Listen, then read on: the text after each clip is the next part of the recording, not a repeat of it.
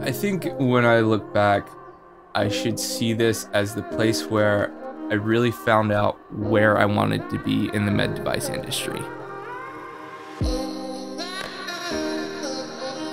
We all go into medical device design because we want to make an impact on the world. I love working here, which not a lot of people get to say, so that's pretty cool. A friend of mine told me a long time ago doesn't matter what title at a startup you get, make sure that you believe in the company. And I saw the potential of Potrero and how it could be a great success if we accomplish what we needed to accomplish.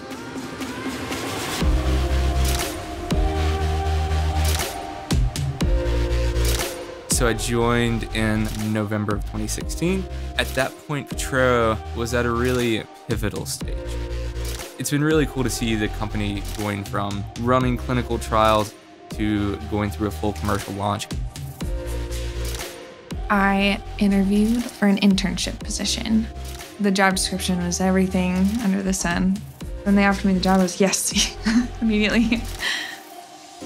We're going from taking accurate measurements, which is very informative to physicians and nurses.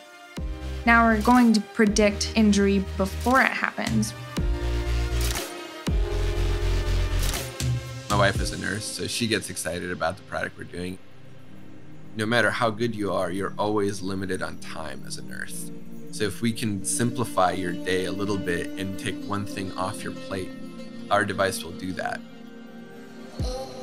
aside from actual work stuff, I get to play soccer at lunch and go rock climbing at lunch and get beers with coworkers afterwards. We all get along really well and we all have very common interests. Just that social aspect of work. It's been pretty cool. We have very experienced people here, and every day I get to learn things from them invention and creation are kind of my strengths, and there's always a mantra I get to do what I do best every day, and that is true here. I love the work itself, obviously. That's why I went into this field. I get to work on SolidWorks and 3D print anything that I design and be able to physically handle it to make sure it's working right just for my personal development. I felt a lot of support from the team, and I would receive the mentorship, the teaching that I needed to succeed in the projects I was doing. It's kind of cool, we're on the same level and we're bouncing ideas off of each other.